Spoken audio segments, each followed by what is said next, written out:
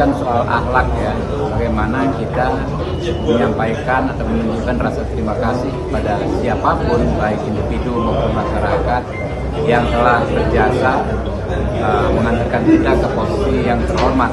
Kalau menurut akhlaknya, standar akhlaknya Pak Anies tidak penting misalnya mengucapkan terima kasih kepada partai politik yang Wakil Ketua Umum Gerindra Habibur Rahman akan bicara terkait utang Anies Baswedan pada Gerindra dan Prabowo saat diusung menjadi Gubernur DKI Jakarta. Habibur Rahman mengatakan bahwa hal tersebut merupakan soal ahlak, tapi dirinya menegaskan bahwa soal ahlak tak bisa dipaksakan.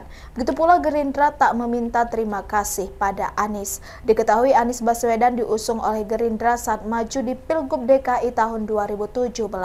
Saat itu Anies Baswedan berpasangan dengan dengan Sandiaga Uno.